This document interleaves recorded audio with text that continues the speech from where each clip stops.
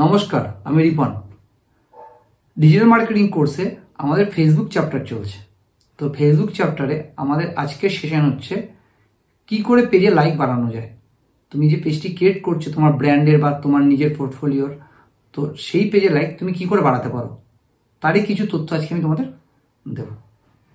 প্রথম তথ্যটি হলো যে, তোমার ফেসবুক পেজের পেজ ক্রিয়েট করার পরে তোমার যে ফ্রেন্ড লিস্ট আছে তাদের তুমি ইনভাইট করতে পারো। তোমার পেজে গেলে দেখবে ডান দিকে ইনভাইট বলে একটা অপশন থাকে। সেখানে গিয়ে তুমি তোমার প্রত্যেকটি বন্ধুকে ইনভিটেশন পাঠাতে পারো। অনেক সময় কি হয় যে তুমি একসাথে সবাইকে পাঠাতে তোমার যদি দু হাজার তিন হাজার বন্ধু থাকে, তুমি সেই সময় সবাইকে একসাথে পাঠাতে পারো না। ফেসবুক কিছু রেস্ট্রিক্টেড দিয়ে দেয় যে তুমি দুশো, তিনশো, চারশো মেবি ওটা ঠিকঠাক না, অনেক সময় পঞ্চাশ, অনেক সময় দুশো হয়। তুমি ইনভাইট পাঠাতে পারো। এবং দুদিন পর বা চার দিন পর বাকি বন্ধুদের আবার পাঠাও। মানে ওটা ধাপে ধাপে পাঠাতে হবে। তুমি একসাথে দু হাজার বা তিন হাজার বা পাঁচ হাজার যদি বন্ধু থাকে তাদের সবাইকে কভার করতে পারবে না।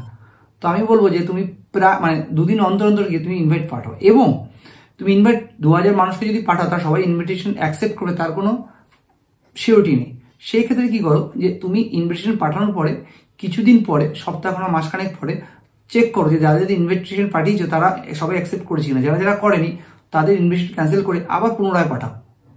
তাতে কি হবে? যে তুমি যাদের আগে ইনভিটেশন পাঠিয়েছিলে, তারা অনেক সময় তাদের নোটিফিকেশন অনেক নিচে চলে যাবে, নিচে চলে গেছে। যার কারণে তোমার পেজের হয়তো ইনভিটেশন দেখতে পারেনি। আবার রিপিটেড পাঠাও, দেখবে তোমার ইনভিটেশন ইনক্রিজ হতে থাকবে।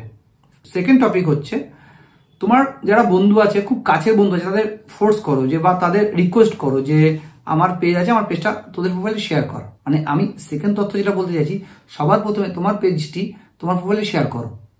যারা মানুষ জানুক যে তোমার ব্র্যান্ড বা তোমার যে টপিকে তুমি পেজটা বানিয়েছো, সেই পেজের সম্পর্কে মানুষ জানুক খানিকটা।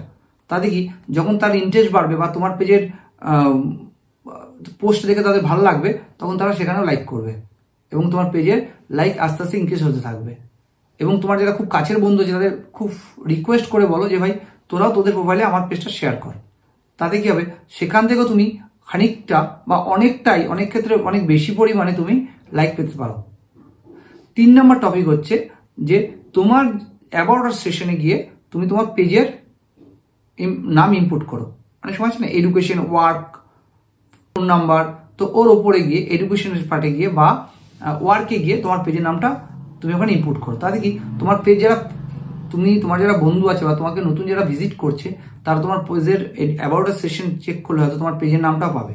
আর যখন পেজের নামটা হবে, তোমাকে যদি কেউ ফ্রেন্ড রিকোয়েস্ট পাঠায়, সেই ক্ষেত্রে আশা করি তাকে তোমার তোমার পেজ বা তোমার কার্যকলাপকে সে লাইক করে লাইক করবে। তো সেখানে গিয়ে তোমার পেজটারও ইনক্রিজ বাড়তে থাকবে। তারপরের টপিক হচ্ছে যে, আমরা সবাই জিমেল ইউজ করি, কম বেশি। এবং তুমি যখন একটা বিজনেস রিগার্ডিং পেজ বানাচ্ছ বা পেজটাকে বড় করতে চাইছো সেক্ষেত্রে তোমাদেরও মেল ইমেল ইমেল আইডি নিঃসন্দেহে থাকবে। এবং ইমেল আইডি তোমার যে কন্ট্যাক্ট আছে, তাদের পার্টিকুলার মেল করতে পারো।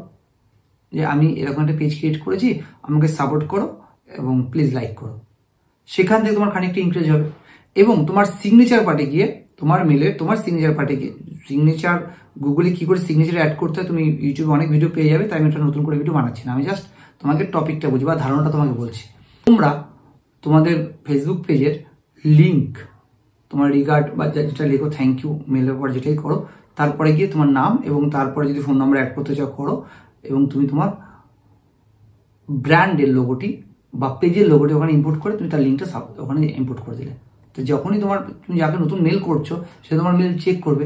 তো সিগনেচার পেজে দেখার পর যদি সার ইন্টারেস্ট হয় বা তোমার তোমার মেলের প্রতি ইন্টারেস্ট থাকে, সে ওখানে ক্লিক করবেই। এবং ক্লিক করলে ওখান থেকে তোমার রিডার হয়ে তোমার পেজে আসবে এবং সেখান থেকে তোমার লাইক বাড়ার সম্ভাবনা থাকে। নমস্কার।